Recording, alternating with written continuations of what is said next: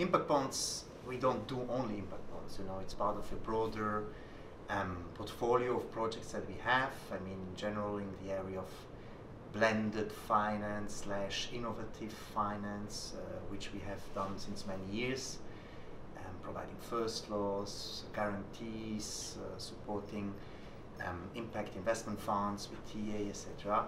So we don't have now a kind of only impact bond focus. We have for the time being um, this uh, social impact bond program in um, Colombia, which is running since three years, which basically is a programmatic approach where we issue several impact bonds, where we build a market for social impact bonds, and uh, which for us is a, a, a, learning journey also in this space. Mm-hmm. Um, for this reason, we have become part of the Impact Bond Working Group, uh, ex-co member of the Impact Bond Working Group, and we considered it uh, with all its uh, kind of advantages that I think uh, people know. No, I would repeat, of course, the result focus, the focus on effective use of money.